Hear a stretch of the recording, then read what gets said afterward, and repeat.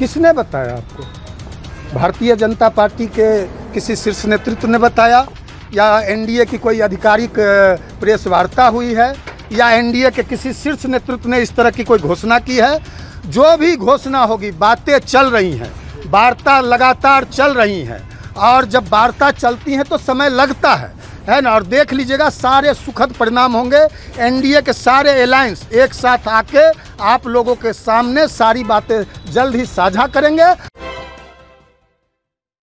नमस्कार, देख रहे हैं आप सिटी पोस्ट लाइव और मैं हूँ आपके साथ पूजा शर्मा। एनडीए के भीतर सीट शेयरिंग का फॉर्मूला तय हो गया है। कहा जा रहा है कि हाजीपुर सीट को लेकर जो हो हल्ला हो रहा था वो हाजीपुर सीट आखिरकार चिराग पासवान को मिल गई, जिसके बाद से सियासी सरगर्मी काफ़ी तेज है। तो वहीं यह भी कहा जा रहा है कि अगर हाजीपुर सीट चिराग पासवान को मिलता है तो फिर पशुपति पारस एनडीए का साथ छोड़ सकते हैं। कई सवाल उठ रहे हैं सियासी गलियारों में।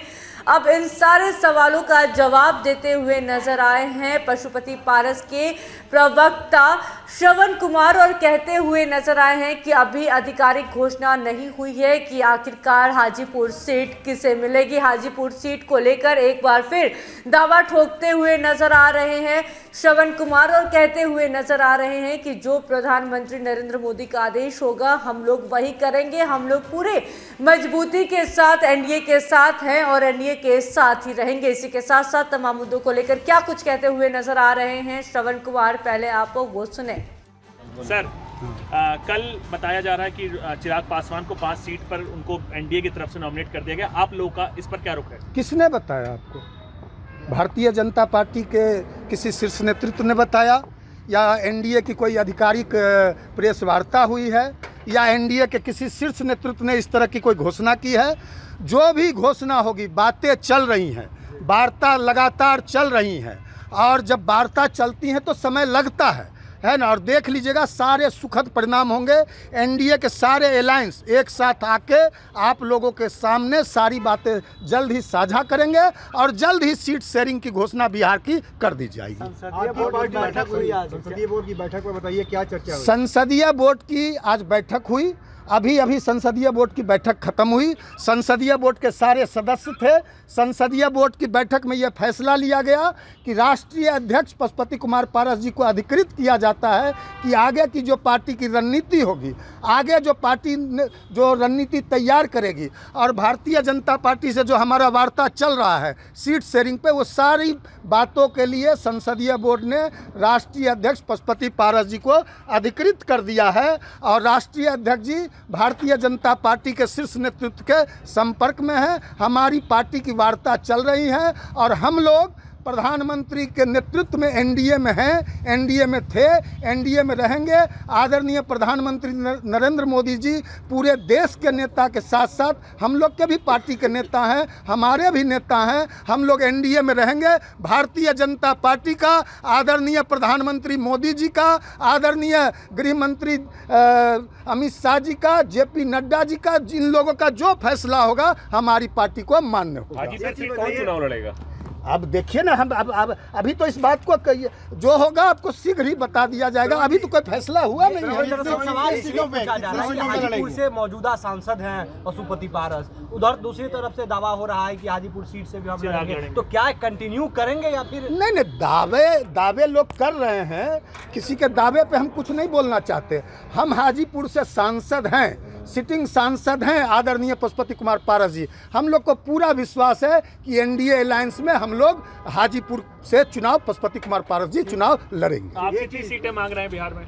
देखिए हमने कहा ना पहले कह दिया आप फिर सीट पे आ गए। हमने कहा ना कि भारतीय जनता पार्टी का प्रधानमंत्री नरेंद्र मोदी जी का अमित शाह जी का जेपी नड्डा जी का जो भी फैसला होगा हमारी पार्टी को स्वीकार होगा। अभी भी आप लोग हाजीपुर पे दावा कर रहे हैं। बिल्कुल तो हम पीछे कहाँ भाग रहे हैं? पीछे कहाँ भाग रहे हैं? भारतीय जनता पार्टी से के साथ भारतीय जनता पार्टी के शीर्ष नेतृत्व के साथ हमारी लगातार वार्ता चल रही है। अभी कोई फाइनल फैसला नहीं हुआ है। एक छोटा सवाल सरवन जी। मुख्यमंत्री नीतीश कुमार के साथ पशुपति पारस के अच्छे रिश्ते रहे हैं। क्या आप मुख्यमंत्री नीतीश कुमार से कोई संपर्क में आप लोग आए हैं? एनडीए के पार्ट वो भी हैं एनडीए के पार्ट आप भी हैं। क्या उनसे बातचीत हुई है? पशुपति कुमार पारस जी के सबके साथ अच्छे रिश्ते हैं।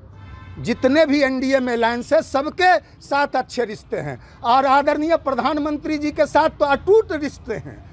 भारतीय जनता पार्टी के साथ अटूट रिश्ते हैं। तो नीतीश कुमार जी भी एनडीए में हैं उनके साथ भी रिश्ते हैं। आप लोगों के भी साथ अच्छे रिश्ते हैं पशुपति कुमार पारस जी के। बातचीत हुई है बातचीत सीटों पे लड़ेंगे आप लोग? कितनी सीटों की मांग कर रहे हैं? फिर आप सीट पे आ गए।